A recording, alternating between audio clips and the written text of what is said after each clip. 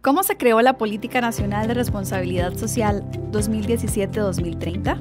Un proceso altamente participativo fue clave para la creación de esta política. Incluyó distintas acciones, como la revisión y consulta de iniciativas a nivel nacional e internacional sobre el tema, la creación de la Comisión Interinstitucional de Responsabilidad Social para articular el trabajo con los distintos sectores y alianzas con organizaciones especializadas.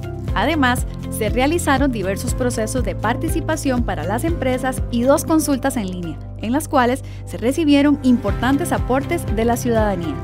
La iniciativa contó con el apoyo técnico y financiero de la Agencia Española de Cooperación Internacional para el Desarrollo.